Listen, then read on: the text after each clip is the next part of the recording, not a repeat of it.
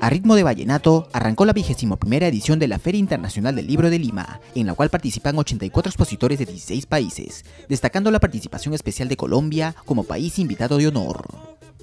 Son 84 profesionales del libro, escritores, editores, bibliotecólogos que nos visitan de 16 países, ¿no? Entre ellos Colombia, el país invitado de honor, que ha traído una gran fiesta a la feria este año, ¿no?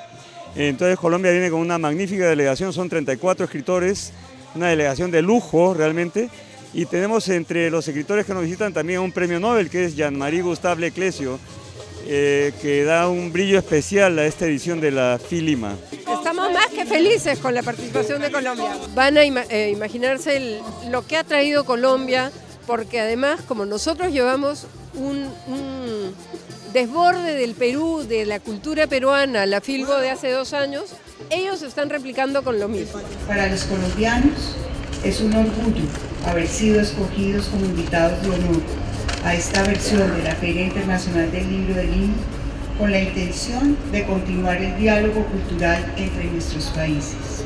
Muestras de danza, música, teatro, cine un amplio catálogo bibliográfico que presentarán 42 editoriales colombianas, con más de 2.500 ejemplares y más de 800 títulos. También compartimos con Perú la exposición Gabriel el Viajero, que ha recorrido diferentes partes de nuestro país y que muestra lo que significaron algunos de los viajes hechos por nuestro premio Nobel.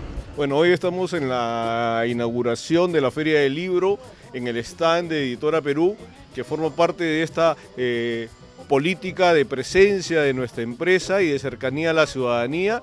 Y en este eh, stand y en esta participación estamos mostrando los productos que se elaboran en nuestra línea eh, SEGRAF y eh, en, la cual eh, se pueden apreciar pues eh, esta proyección de Editora Perú hacia la ciudadanía cumpliendo su rol como medio público. Vengan, vengan a la Feria del Libro.